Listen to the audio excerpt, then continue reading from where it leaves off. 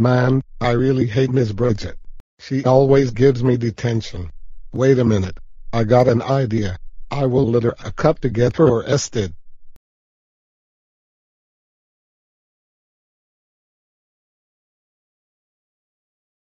Hey! Who littered that cup? I better pick it up. You are under arrest for littering a cup. But I didn't do it, I swear. You can't prove it so come with me. You are now going to jail for a very long time. This is your cell. You will stay here for 60 days.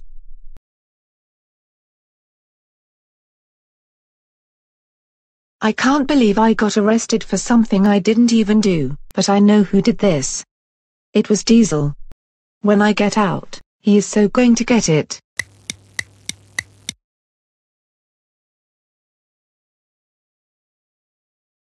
Oh no, Miss Bridget is out of jail. That's right. How dare you get me arrested? Go to the principal's office now.